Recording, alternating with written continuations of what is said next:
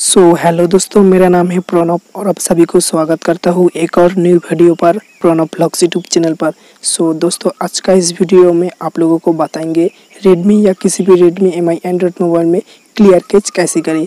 इस वीडियो में आप लोगों को सब कुछ बताएँगे फ्रेंड कि कैसे आप लोग रेडमी या किसी भी Redmi M I Android mobile में क्लियर कैच कर सकते हो फ्रेंड जानने के लिए आप लोगों को इस वीडियो को शुरू से लेकर एंड तक देख लेना है फ्रेंड और अगर हमारे यूट्यूब चैनल पर पहली बार आई है तो सब्सक्राइब करके बेल आइकन को ज़रूर प्रेस कर लेना है। तो चलिए दोस्तों, आज का वीडियो स्टार्ट करते हैं। दोस्तों, सबसे पहले आप लोगों को अपने मोबाइल का सिक्योरिटी एप्लीकेशन को ओपन करना है। तो चलिए दोस्तों, मैं सिक्योरिटी एप्लीकेशन को ओपन कर दिया। सिक्योरिटी एप्लीकेशन को ओपन कर देने के बाद दोस्तों, आप लोगों को जिस तरीके इंटरफेस दिखाई दिया और यहाँ पर एक ऑप्शन मिल जाएगा क्लीनर। इस पर आप लोगों को टच करना है।